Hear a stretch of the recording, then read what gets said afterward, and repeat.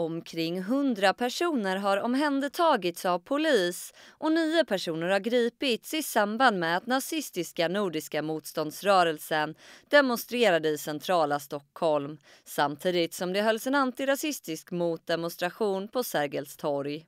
I samband med att nazistdemonstrationen avslutades vid 16-tiden på lördagen blev en polis slagen i ansiktet och drygt en halvtimme senare skadades en civil person i huvudet vid Gamla stans tunnelbanestation.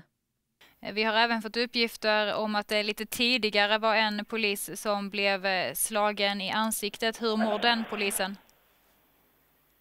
Ja, jag har en uppgift om att den ska ha fått en lättare skada och en är föremål för vård.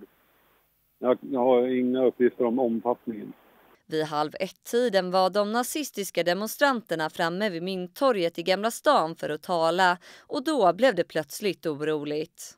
Demonstranterna omgrupperade sig och tog in på en annan gata och skrek slagord som utan pardon.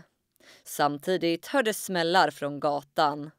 Även flera motdemonstranter har kastat snöbollar och smällare mot nazisterna och i samband med demonstrationerna kastades det även smällare och snöbollar mot polis. Enligt polisen har fyra händelser under dagen rubricerats som våldsamt upplopp. Det var i Gamla stan, eh, Västerlånggatan och Myntgatan där man försökte ta sig över våra avgränsningar. Då slängdes eh, en hel del lösa föremål inklusive snö och, och iskoker. Det slängdes knallskott, man tände en del rökfacklor av olika slag. När den nazistiska demonstrationen avslutats och medlemmarna ur Nordiska motståndsrörelsen skulle ta sig från Gamla stan uppstod det oroligheter på nytt.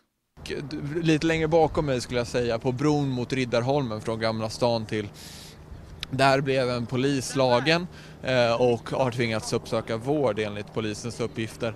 Och det var alltså den nazistiska gruppen Nordiska motståndsrörelsen. Sedan fördes de hit och där har det, det förekommit någon sorts lukt eller enligt första uppgifterna gas nere i eh, tunnelbanestationen samtidigt som eh, fyra stycken i alla fall ska ha gripits ur Nordiska motståndsrörelsen och dessutom så var det blodvite som uppstod. Jag såg en yngre man som blödde kraftigt från huvudet till exempel.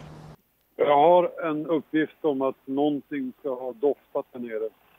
Jag har inte fått bekräftat vad det kan vara. Eh, jag har också ställt frågan om det är någon som har behövt sjukhusvård med anledning av att jag har fått eh, ett nekande svar. Alltså ingen har behövt söka sjukhus.